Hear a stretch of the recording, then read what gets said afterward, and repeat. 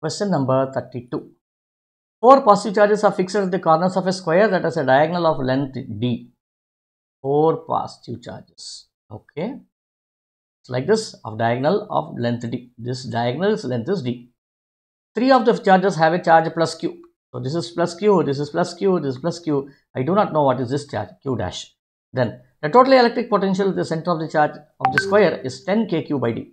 At this point, it is 10 kq by d. I'll write V is equal to 10 kq divided by d.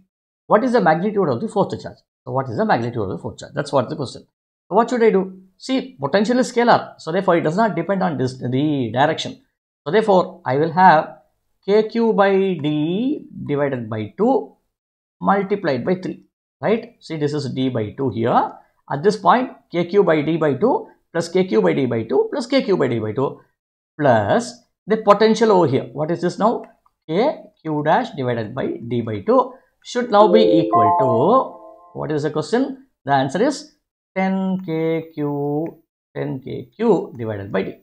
This is what is being given to you. Okay. Now towards it, now what will I do?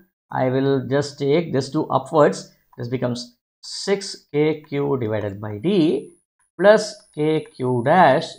This d by 2 also goes upwards. So 2 kqd 2 kq d dash divided by d is equal to 10 kq divided by d.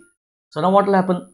So this will be 2 kq dash divided by d is equal to when this goes that side it will become 10 minus 6 which will become 4 kq divided by d.